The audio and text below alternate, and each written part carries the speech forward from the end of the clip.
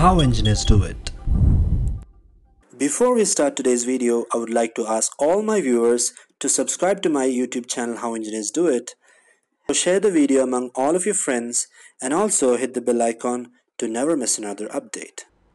Hello friends, this is Mohammed Shakeel here from How Engineers Do It and in this video I'm going to show you how you can design a luminous interstellar model in CATIA V5.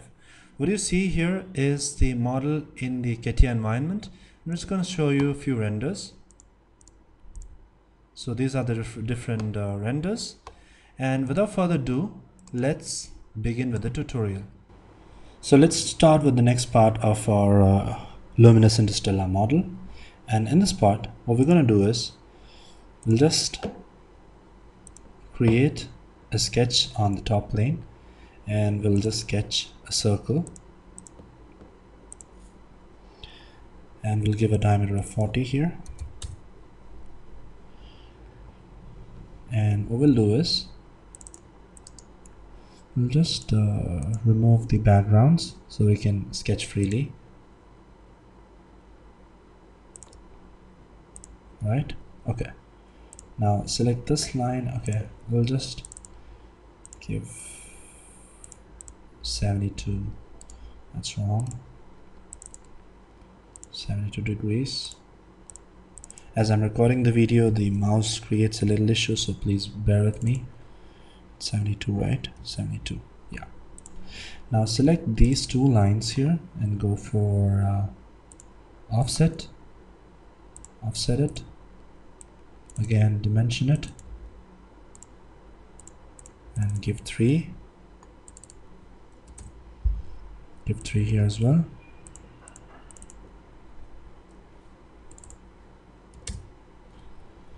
And uh, extend this a little bit so we'll be able to see it. Okay. Maybe we can just remove this part. Okay now what we're gonna do is we'll just create another axis.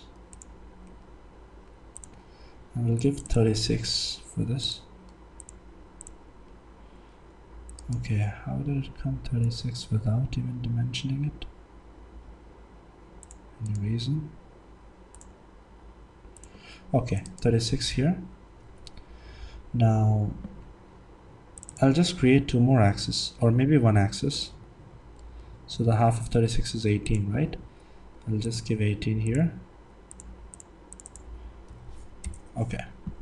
Now select the spline tool here and just okay from here. From this point let's draw make sure that's uh, coinciding. And use the dimension tool. And right click allow symmetry line symmetry it. Now drag this a little downwards here.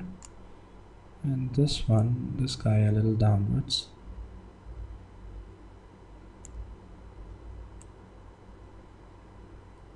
So maybe you gotta create a smooth uh, curve.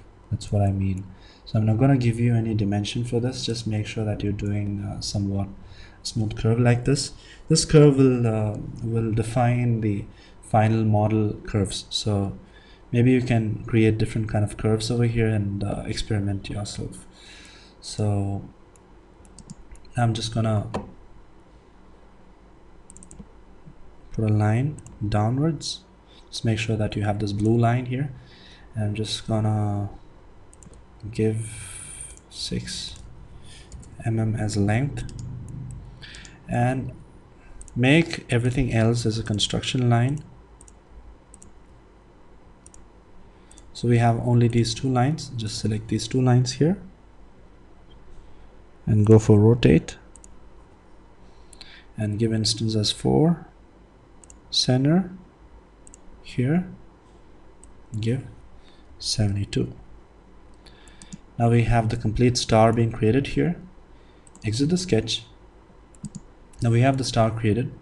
Just go for project and uh, select the support as this and uh, remove the nearest solution. Click on ok and just hide this and uh, go for the split select the element to cut as this and this as a sketch or the cutting element. Click on ok and we have this part uh, only this part remaining here. And we'll see the remaining part in the next video. Thank you